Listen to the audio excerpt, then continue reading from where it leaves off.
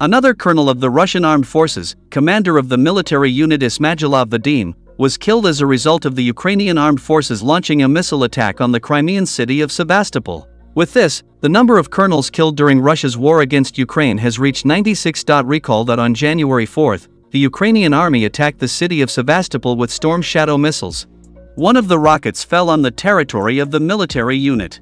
The Russian side reported that the air defense system was activated, 10 missiles were shot down, there were no casualties, and only one person was injured. It should be noted that two Russian colonels were already killed in January.